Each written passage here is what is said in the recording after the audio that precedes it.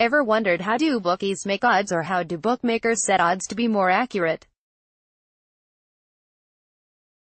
If you are a punter who cares for his money then you should have, even if you don't have the ambition to become a future trader.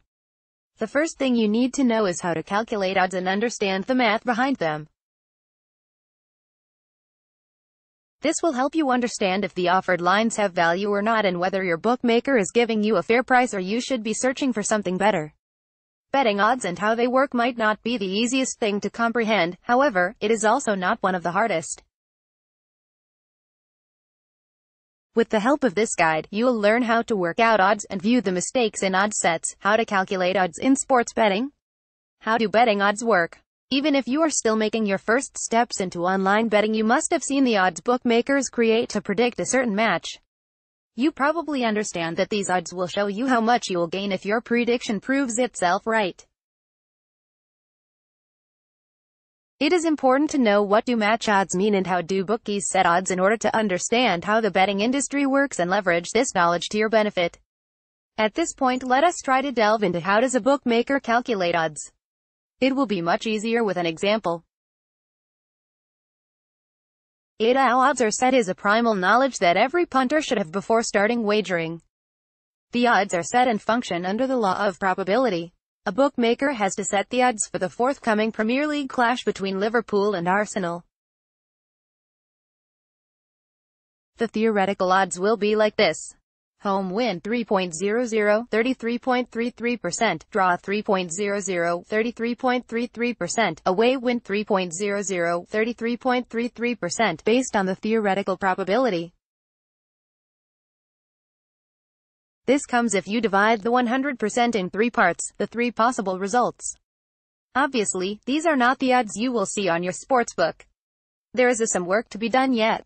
It is the time for odds compilers aka traders to start their job. Based on a large number of data they shape those odds. From the current form to tradition, weather conditions, player absences or injury risks, traders with the help of sophisticated algorithms work together to set the odds. Let's see the true odds now. Home win 2.00, 50%, draw 4.00, 25%, away win 4.00, 25%. There have never been such odds at a bookmaker, a sharp-eyed bettor would notice. And he would be absolutely right about that because now it's time for the bookmakers to make their profit.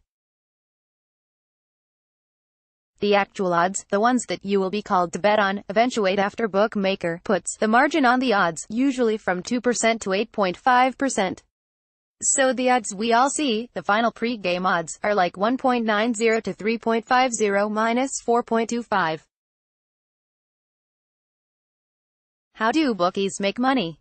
The first and easiest way is pricing the market in a way that doesn't represent the true value, the true probability of the outcome. This is exactly what we analyzed above in a three-way market.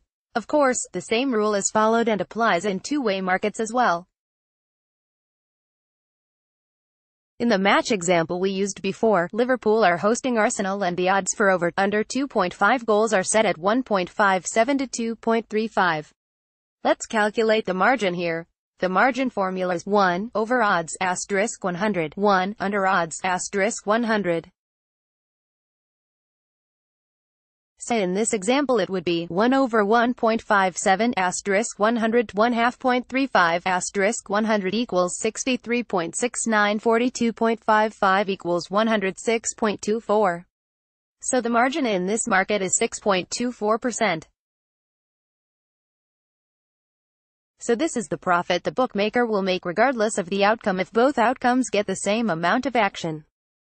But bookmaker won't settle in a profit of this size. In our example, the vast majority of punters will back the Reds to win in the offered pre-game odds.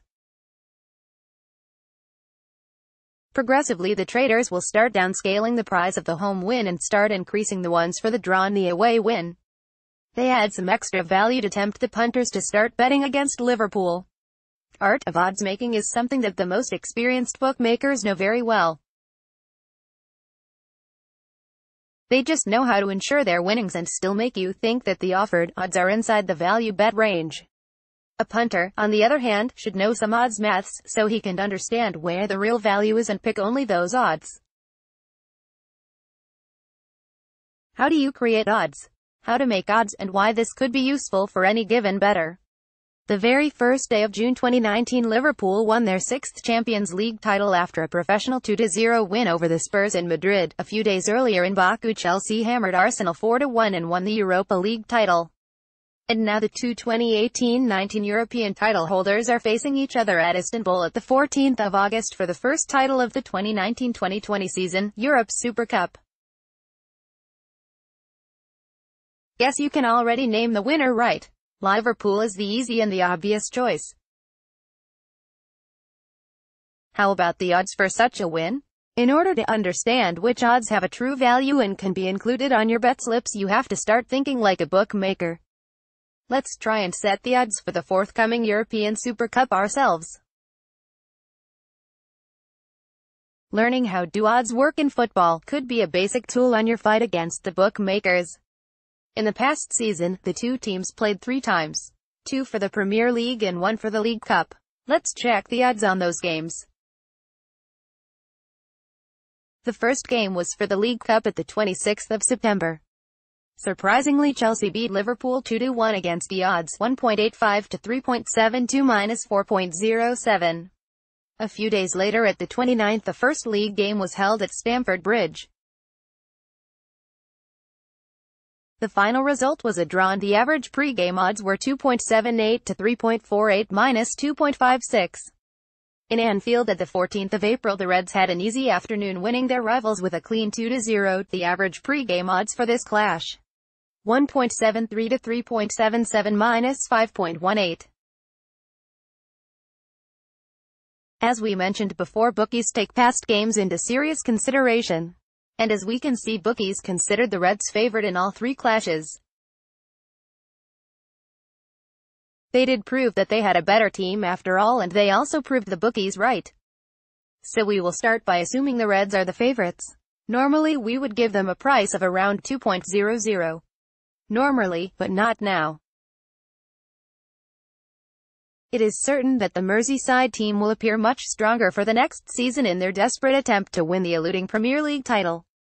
Chelsea on the other hand already lost Eden Hazard and their manager Maurizio Sarri will coach Juventus.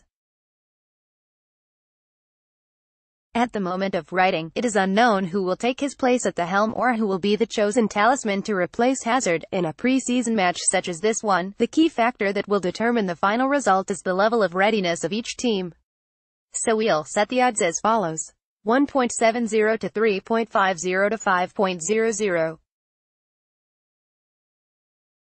and the most common special market, over, under 2.5 should be like 1.70 to 2.10 considering that in games like these both teams are usually looking to outscore their opponents. In the same manner and with the same odds we will set the both teams to score option. Doing that in more games during the season will not just help you figure out how odds are set in betting, but also will train you to understand if the offered odds have any value or not. How to work out odds in betting and find value. In the previous paragraph, we tried to show you how to understand odds. Now that we understand betting odds it is time to find out how to use this knowledge to our benefit. There are two ways to follow here. Both of them are for experienced bettors. Let us go back to our example.